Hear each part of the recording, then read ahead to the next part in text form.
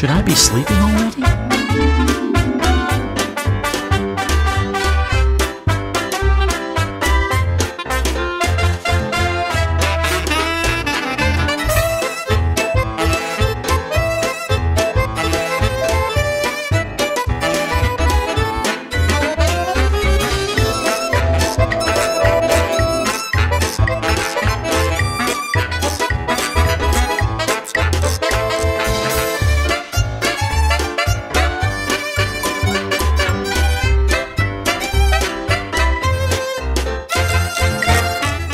Yes, yes, I know.